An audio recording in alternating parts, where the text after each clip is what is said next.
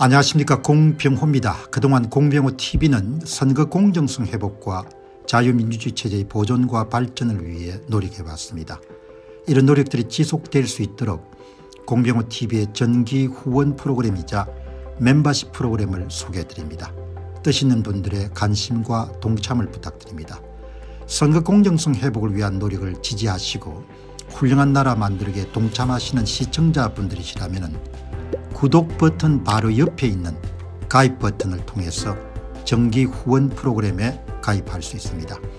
가입 버튼을 누르시면 공병호TV의 후원자가 되시게 됩니다.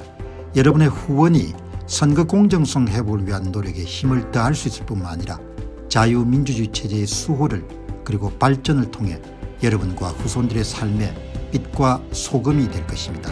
특히 그동안 공병호TV는 선거 공정성 회복을 위한 노력 과정에서 채널 성장에 제약이 가해지는 불이익을 감수해왔고 지금도 그런 불이익이 계속되고 있습니다. 그럼에도 불구하고 너무나 중대한 문제이기 때문에 공병호 TV의 노력은 계속될 것입니다. 여러분의 깊은 관심을 부탁드립니다. 감사합니다.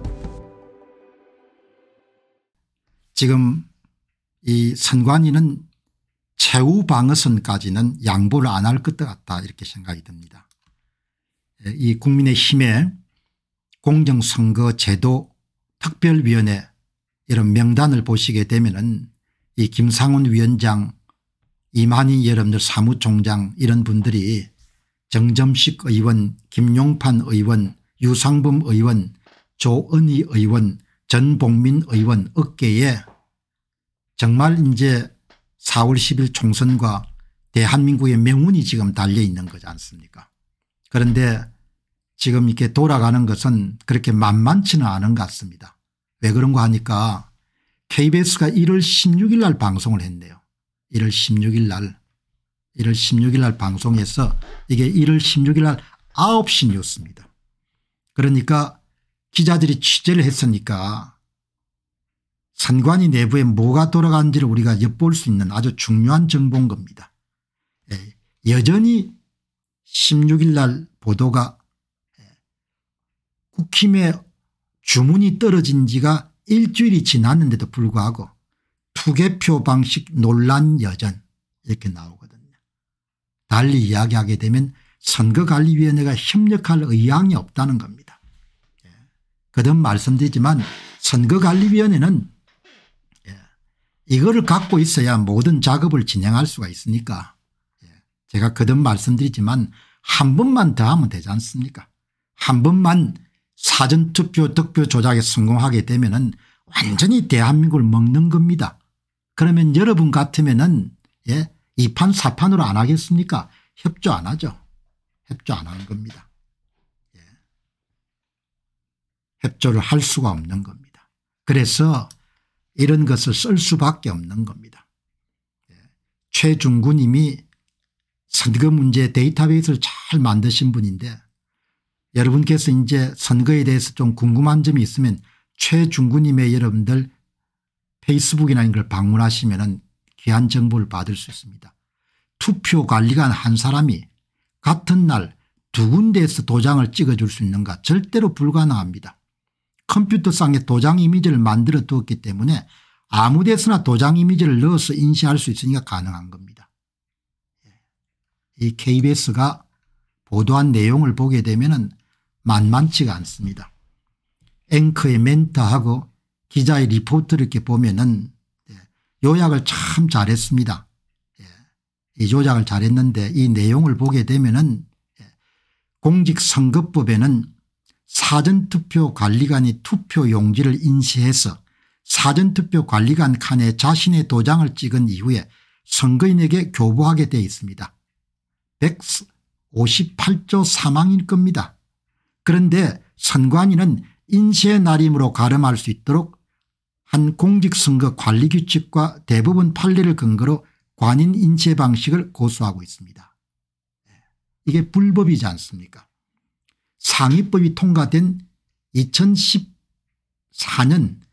1월 17일 날 예, 법이 여러분들 국회에 통과됐을 때 바로 공직선거 관리 규칙을 여러분들 만들어 가지고 모법인 국회 이름 입법을 다 무력화시키고 지금까지 불법적인 일을 해오고 있지 않습니까 그것을 합리화하기 위해서 지난 2021년 12월 달에 대법원 판례까지 얻어낸 겁니다.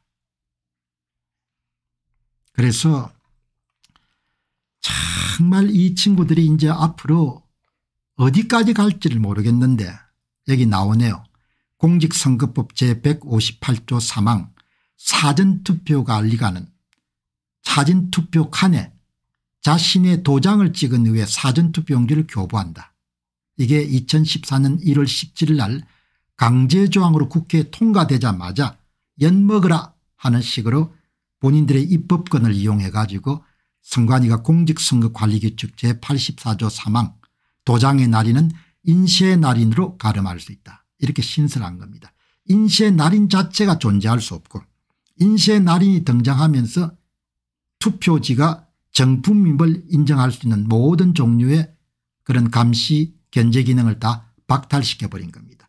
이 선거 문제를 아주 잘 아는 석종대 씨께서 정확하게 얘기하지 않습니까 인쇄와 날인은 다른 것이고 예. 공직선거법 사전투표관리관에 자신의 도장을 찍은 후에 2014년 1월 17일 강제징용 국회 법제가 되자마자 그날 중앙선거관리회가 인쇄 날임으로 가늠할 수 있다는 말도 안 되는 규칙을 정하면 공직선거법을 무력화시켰다. 모법이 우선이지 않습니까 대부분 규칙이나 선, 선거 선관위 규칙은 다 모법 하에 있는 거지 않습니까 예. 그런데 이제 참 그래서 저는 이 결정이 어떻게 내려지나 뭐 그렇게 낙관적이지는 않지만 그래도 이게 이제 제대로 이루어져야 될 텐데 이런 걱정을 함께 이렇게 이제 보고 있는 거죠. 보고 있는데 이 인쇄 날인이 이제 선관위 측 주장대로 관철이 되게 되면은 위조 투표지를 이제 막을 수 있는 방법은 전혀 없는 겁니다. 위조 투표지를 막을 수 없기 때문에 전산 프로그램을 가지고 득표수를 만드는 것을 막을 수 있는 방법이 없어지는 거죠. 예. 대한민국 공직선거의 문제점을 파헤친 첫 번째 책을 펴냈습니다. 제목은 도둑놈들 1권 선거 어떻게 훔쳤나 2017년 대통령 선거로부터 2022년 대선과 지방선거까지 전산 조작을 이용해서 후보별 득표수를 어떻게 조작했는가를 낱낱이 분석한 책입니다. 선거를 바로 세우고 나라를 바로 세우는 일에 여러분께서 힘을 더해 주시기 바랍니다.